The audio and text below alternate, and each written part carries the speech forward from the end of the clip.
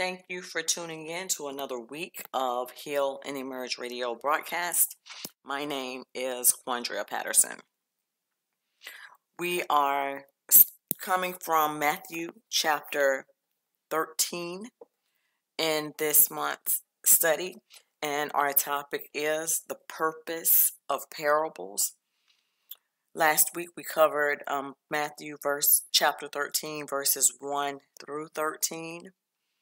This week we'll be picking up with verse 14 and we'll read um, a, a couple of more verses wherever God stops us. That's where we'll stop for this week. Before I get into the messages again, um, just like last week, I said that we are focusing on youth empowerment this month. And we want to highlight our youth. We want to make sure that they are getting everything that they need to be successful in life. It's best when they learn these things at a young age and when they're supported and when they are empowered so that when they have to use these skills, it's not strange to them. So we are having an event at the Bell Line Park on July the 22nd. That's a Saturday. We will be having a basketball tournament and we will be talking about other programs that we are um, unveiling and putting into motion uh, with youth at the head. And so we want you to come out and we want you to support and we want you to join us on Saturday, July the 22nd. We will be giving away cash prizes. Uh, we're selling raffle tickets for $3. The prizes will go up to $100 in cash. So we do want you to get your raffle ticket. Um, you can call us at 1 855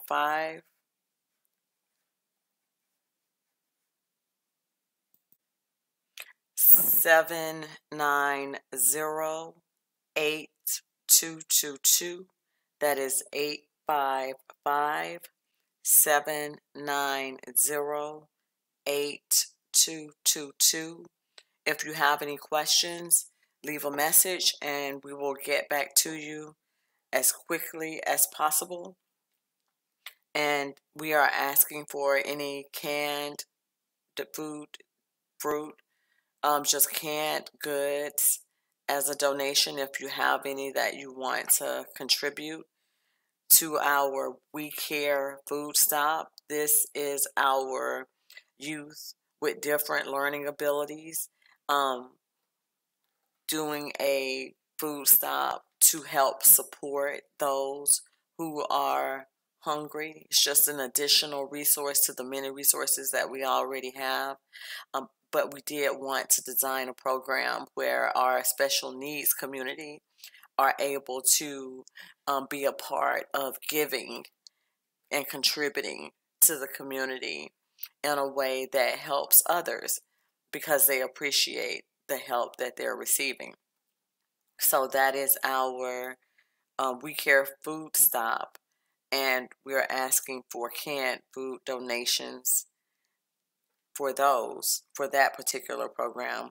And then we also have our little free library. And that We Care Food Stop is a little free food stop. I mean, food food um, pantry. Yeah, it's a little free food pantry. Um, we have a little free library that we're doing, and um, our youth is leading that uh, program to where um, they'll be reading um, periodically. But we're, we're, thinking about doing it maybe twice a month um, with that program on Saturdays. But stay tuned for more information on that. And that will be um, what you will kind of see what it looks like on Saturday, July 22nd. But we are asking for any book donations that you have or any type of literature that you think would be productive in teaching our youth and supporting our youth in that way. We also have a basketball tournament that we're doing.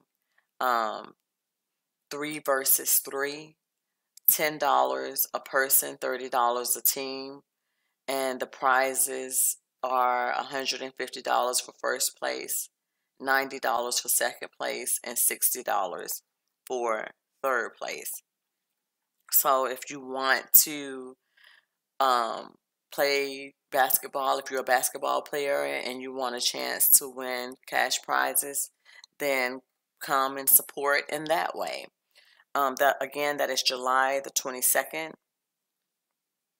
That's a Saturday, and we hope to see you there. Now let's go ahead and get into our word. And this month we're talking about the purpose of parables. When we read last week Matthew chapter 13 verses 1 through 13, Jesus had given examples of the different types of ground.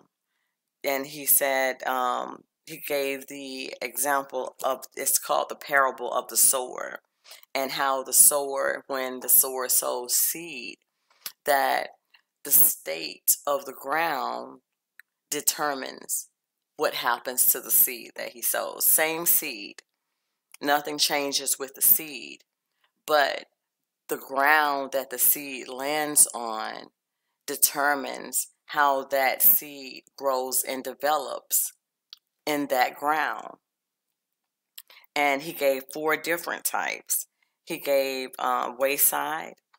He said the wayside ground, it just falls off. It doesn't penetrate. It doesn't, it's not received. It just falls on the wayside and the birds come and they eat it up. And then he gave the category of the ground of stony places, the stony ground. And he said, when the seed, good seed, lands on stony ground, there's not much earth there. And it immediately springs up because it had no depth of earth to it. It wasn't deep. It was it was a shallow ground. So so the seed can't penetrate it because it's not it's not much depth there. And then he gave the example of thorns.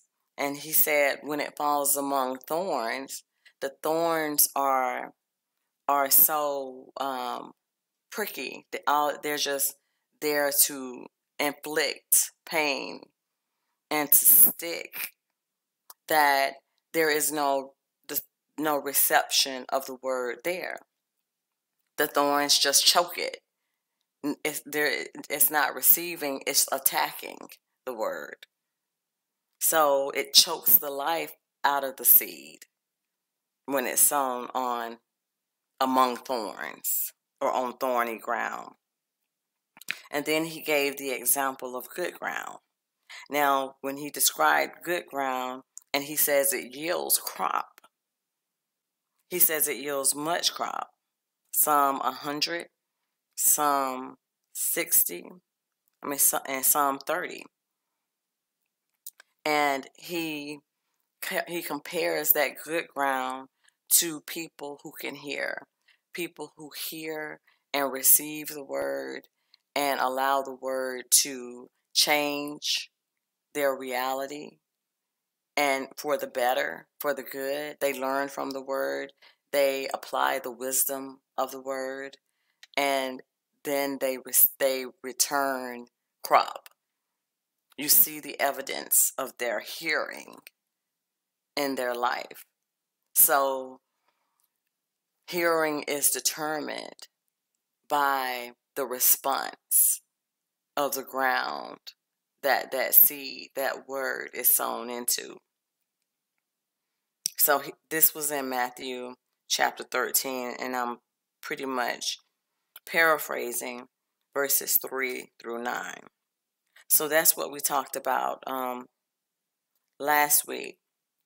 And then we ended with verse number 13, where he says, Therefore I speak to them in parables, because seeing they do not see, hearing they do not hear, nor do they understand. So that understanding, he's saying, is a matter of the type of ground that is receiving or is on the receiving end of the word. If you hear and you understand, then that's evidence in how how you how you um, present yourself after hearing the word. If you present yourself the same as you did before you heard the word, you may be one of those first three grounds. If you present yourself differently as a result of hearing the word, you allow the word to make a difference in your life, then that's evident of the fact that you are good ground because it got in you, you listened to it, you applied it, and that application was a, was reflected in how you presented yourself after hearing. So that was what we um that's where we stopped last week in verse number 13. So that's the recap. Let me go ahead and do our scriptures that we read every week, starting from Isaiah um, chapter 55, verses 8 to 11. It says, let's go ahead and go up to chapter 6 this week. We're going to um, do Isaiah 55. We're going to start with verse number 6. It says, Seek the Lord while he may be found, call upon him while he is near. Let the wicked forsake his way, and the unrighteous man his thoughts. Let him return to the Lord, and he will have mercy on him, and, uh, and to our God, for he will abundantly pardon. For my thoughts are not your thoughts, nor are your ways my ways, says the Lord. For as the heavens are higher than the earth, so are my ways higher than your ways, and my thoughts than your thoughts. For as the rain comes down and the snow from heaven, and do not return there, but water the earth, and make it bring forth and bud, that it may give seed to the sower, and bread to the eater, so shall my word be that goes forth from my mouth. It shall not return to me void, but it shall accomplish what I please, and it shall prosper in the thing which I sent it. So God is saying that his word will not return to him void. So when his word goes out and we are the ground that that word falls on, and we are saying that we are people of faith and that we trust God to accomplish His word in our life, then we are ready listeners. We're seeking, what are you saying, God? We're not rejecting seed. We are not, um, we're not attacking the word. We are receiving it. We are good ground. If we're not good ground, we can judge whether or not we're good ground by the parables that Jesus talked about in our scripture reading on last week. Is it just falling by the wayside? Are we just like, uh, can't hear that? Talk to the hand. Miss me with that. You're doing too much. Tell that to somebody else. I don't, I, I hear what you're saying, but in my life, it's different.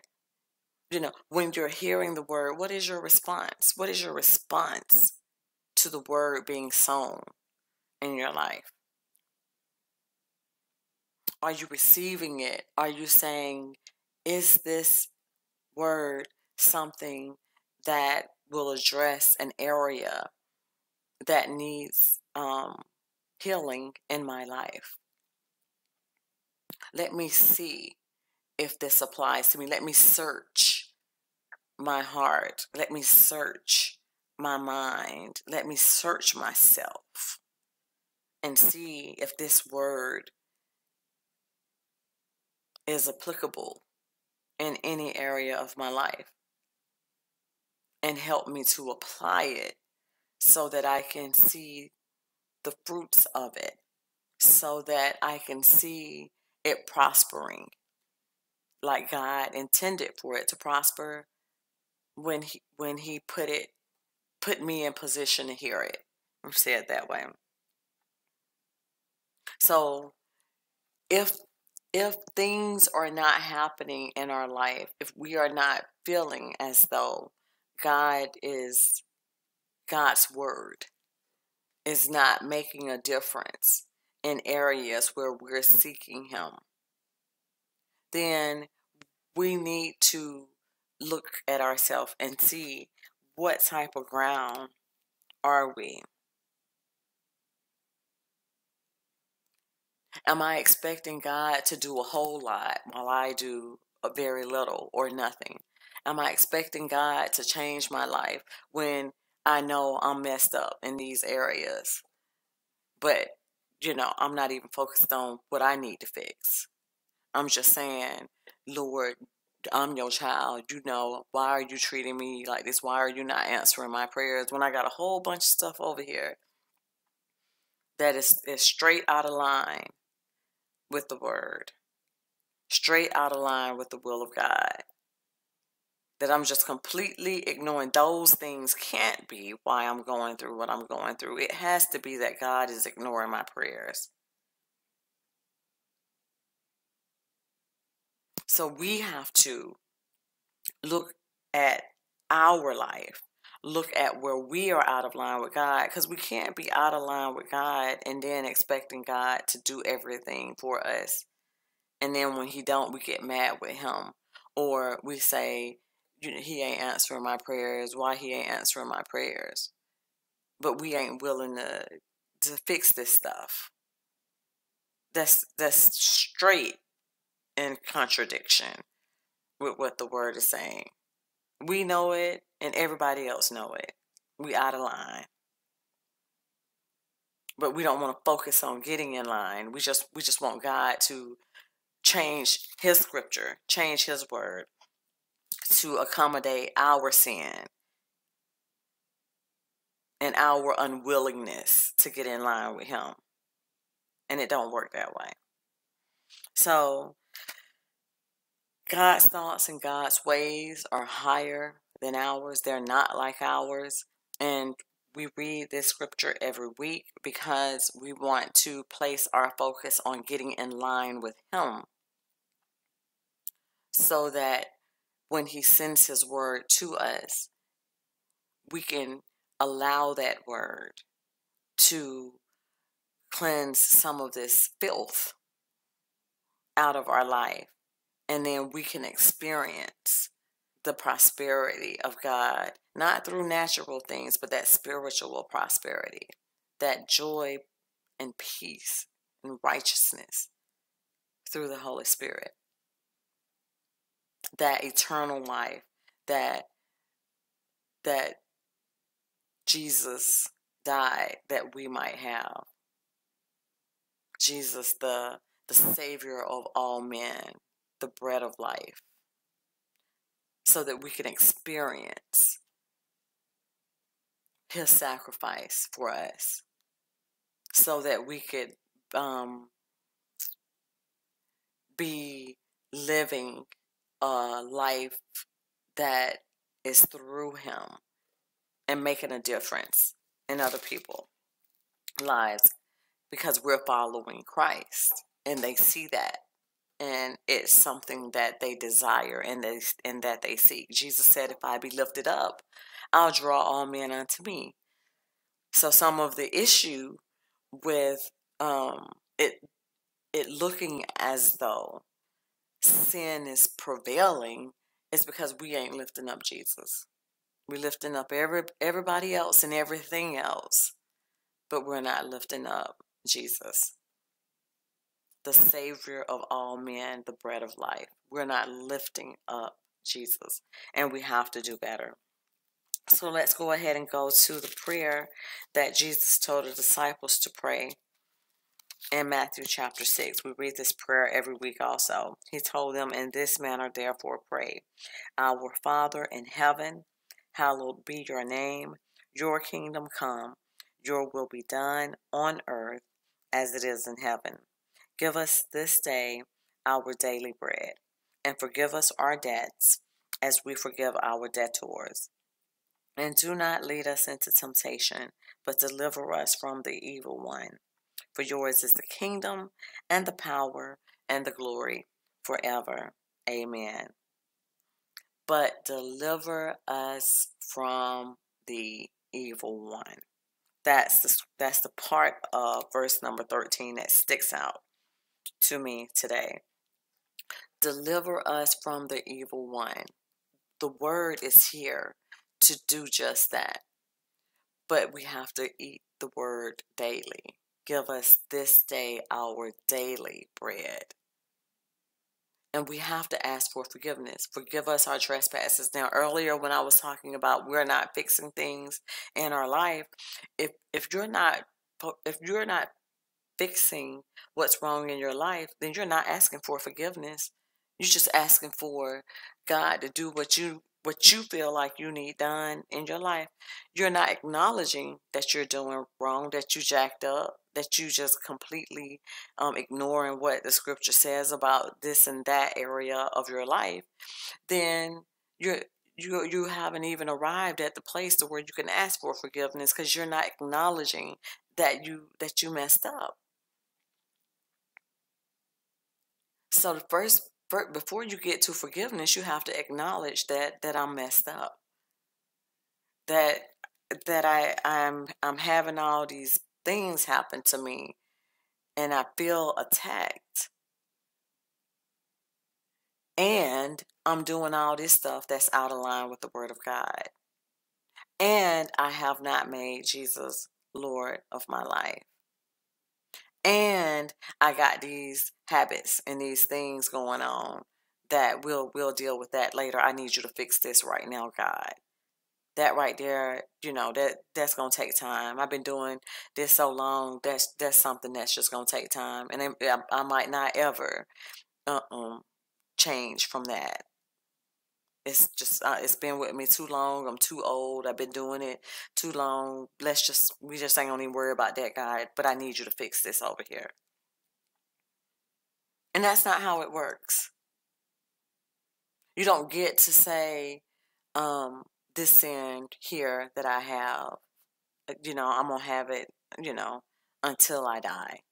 And and I ain't even trying to fix it because it's bringing me comfort. And if i if i get rid of this i might just fall apart altogether. That's lack of faith. That's not scripture. That's you saying that whatever that thing is is more um more important to your well-being than god and his cleansing power it's more powerful than the sacrifice that Jesus made for all of us. But you still want God to say to help you while you while you're confessing that over there. So first we have to get in position to where we are asking God to forgive us, acknowledging what we're doing wrong, and that is what will help us be delivered from the evil one. We can't say that that evil has more power than God and then expect God to uh, push back evil on the areas where we feel whooped. You know, this part is comforting me, so leave that alone. But I'm feeling I'm feeling beat up over here with this thing. I need you to deal with that, God. We don't get to pick and choose. We align ourselves with God, with the Word of God. And when we do that, He delivers us from evil. When we do that, we see the word manifesting and operating in our life. When we do that, we have peace. And we know that that once we um, align ourselves with God and we accept Jesus as our personal Lord and Savior, that we are assured for eternal life with Him. When we order, walk in the steps that He's ordered for us, when we keep His commandments, that that connection is an eternal connection. And whether we on this side of life or the next side of life, we are living eternally with God through Christ Jesus, being led and being guided by the Holy Spirit. So we have to know that and we have to be willing to trust God that if we let this stuff go, that He'll have our back. If we let this stuff go, that He's there for us and with us. He'll guide us, He'll lead us, and He'll comfort us. And we have to know that.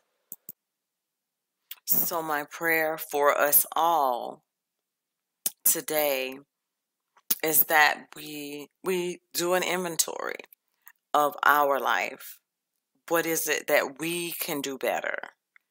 And let's try to fix some of that stuff while we are asking God to to help us and to deliver us from this evil one. Let's let's pray that God delivers us from the evil one, but let's let's clean up some of this stuff that that has nothing to do with the evil one. That's just us not aligning ourselves with God. And I pray for strength in that area in Jesus' name for all of us. Amen. All right, let's go ahead and get into our word. We are going to be picking up with Matthew chapter 13. We're starting with verse number 14. And it reads And in them the prophecy of Isaiah is fulfilled, which says, Hearing you will hear and shall not understand, and seeing you will see and not perceive. For the hearts of this people have grown dull. Their ears are hard of hearing, and their eyes they have closed, lest they should see with their eyes and hear with their ears, lest they should understand with their hearts and turn so that I should heal them. This is Jesus speaking.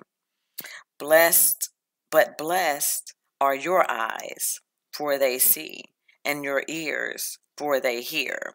For assuredly I say to you that many prophets and righteous men desired to see what you see and did not see it, and to hear what you hear and did not hear it. Therefore, hear the parable of the sower. When anyone hears the word of the kingdom and does not understand it, the wicked one comes and snatches away what was sown in their heart. This is who received the seed by the wayside. This is he who received the seed by the wayside. But he who received the seed on stony places, this is he who hears the word and immediately receives it with joy. Yet he has no root in himself, but he endures only for a while. For when tribulation and persecution arises because of the word, immediately he stumbles. Now, he who receives the seed among the thorns is he who hears the word, and the cares of this world and the deceitfulness of riches choke the word, and he becomes unfruitful. But he who receives the seed on good ground is he who hears the word and understands it. He who indeed bears fruit and produces some a hundredfold, some sixtyfold, and some thirtyfold. So, this is the parable explained. Last week we asked the question Do you have ears to hear? This week I want to ask the question What type of ground are you? What type of ground are you? We've heard from Jesus. We heard him last week explain the parable of the ground and the seed and the um the sower sowing seed. This week he's replacing the seed with the word.